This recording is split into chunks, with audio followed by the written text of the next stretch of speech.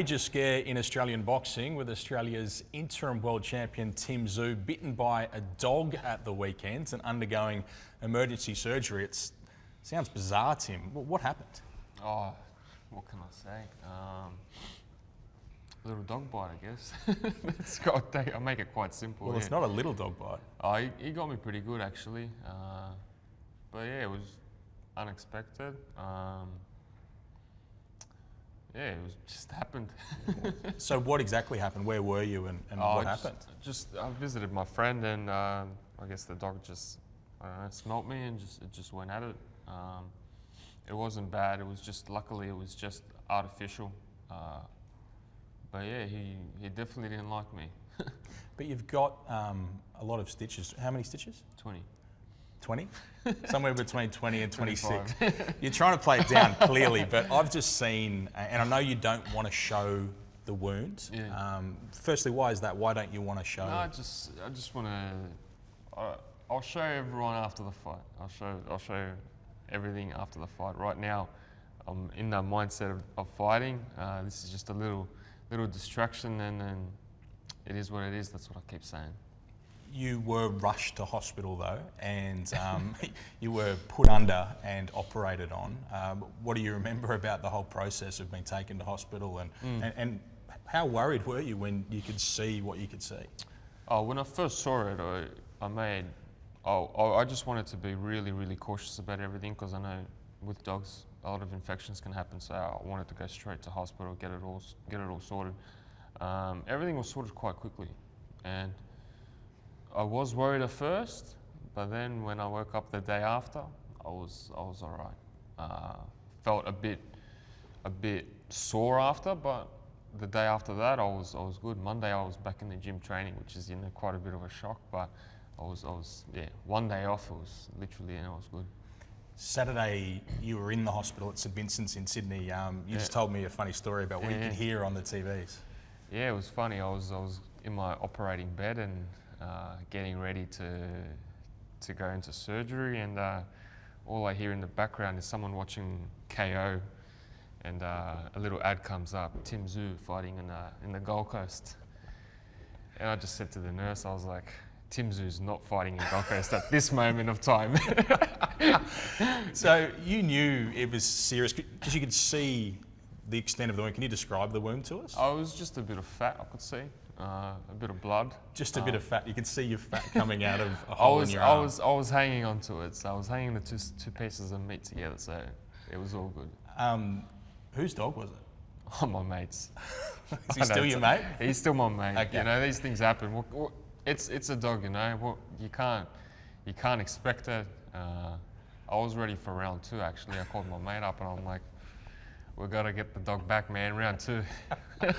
Where was uh, your French bulldog Pablo there to protect you? You needed man, him. My, my Frenchie is a little softy, so that wouldn't have helped. he would have probably got eaten alive. So, uh, but yeah, it would have been good for, for a bit of a, a good companion, Pablo. Um, so you're back training. You were back training on the Monday yeah. after the operation on the Saturday night, yeah. quite incredibly. Um, any restrictions on your movement, given where mm. uh, this wound is, and it's right across yeah. um, the inside of your elbow. Yeah, no, it's it's not too bad. I've, I've tried to just take it a, uh, uh, a bit easy with the punching, uh, but I'll be sparring my last week next week, so I'll be back into it anyway. So um, whatever, whatever. That's the thing with life. Whatever you're given, you just have to find a, a way to figure it out. So you'll be sparring once the stitches come out? Yeah. You, you can't spar with stitches in, I assume? No, I, I can. I can. I uh, just don't want to rip anything open at this moment in time. And do you think it's going to have any further impact once the stitches come out, once you're back into things? Uh, do you think you're going to have to do anything different in the preparation for this fight, given the injury? We're nearly there. We're two, two and a half weeks out, so we're nearly there. I'll have a nice little scar at the fight, so uh, nothing, nothing changes. Eh? I just just got to stay sharp. Uh, I'll be good. A number of fighters have pulled out of fights with you for different reasons, yeah. an, array of reasons. Um, yeah. Is there any part of you that's trying to prove a point uh, about all that by surging ahead, not delaying at all? You know what? I've, I've been dealt, I haven't told many people, but I've been dealt with a lot of injuries in my career.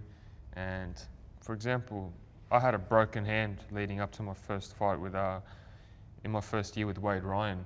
Uh, I should have pulled out, but I didn't. Uh, leading up to the Charlo, I had a probably a torn shoulder. I didn't say nothing.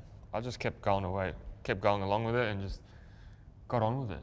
You know. Uh, but yeah, it is what it is. Eh, when you're dealt with uh, circumstances, you got to just uh, deal with it, find a way. I know you really didn't want this to come out, um, and do you think it gives Ocampo what some self-belief? Uh, do you think it gives him a target to no, aim at? He's, he's got a he's got a pit bull in me right now that's going to come out. And uh, as I said, I was ready for round two with the dog. Poor Ocampo, because he's I'm coming for for every round for him. It's funny that you did make those um, pit bull analogies quite a number of times uh, when we were talking I on the. Gold Coast. I was actually thinking about it, you know, I was like, this is going to be a pit bull versus pit bull fight. And then when I, went, when I got in with an actual pit bull, I sort of had to defend myself, but I'm ready. I'm ready for round two. Well, we're very pleased that things are okay. Um, any message to Australia? Because people were very concerned. You would have seen how worried people were um, just um, when they read or heard the news. Australia, thank you for the support, for the wonderful messages. But I said it yesterday on my social media. I'm good. Uh, this has not affected me at all. It's one weekend. It sort of didn't let me rest, which which I wanted to go for a nice sauna massage, a nice little recovery. But I was uh, stuck in a in a in a surgery bed. Uh, but yeah, we're all good. The road to undisputed, as I said before, continues, and uh, nothing will stop me until I get those belts. All right, Tim. Well, uh, great to see that you're okay, and um, looking forward to seeing you go through some um, some work here and, Yeah, and how that all goes. And we'll see you on the Gold Coast.